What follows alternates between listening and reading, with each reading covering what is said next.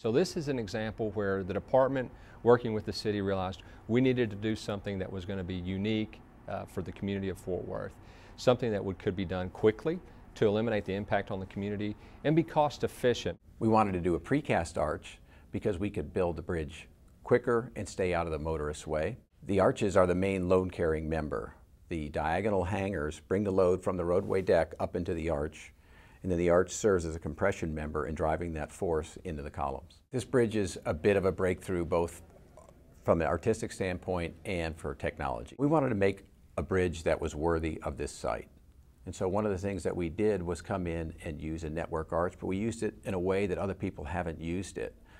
Frequently there's widely spaced hangers. We wanted a nice thick metallic mesh so that would create a screening effect for the lights. It would create a more of an architectural interest. We chose a through arch so the pedestrians and the motorists on West 7th could experience the arch.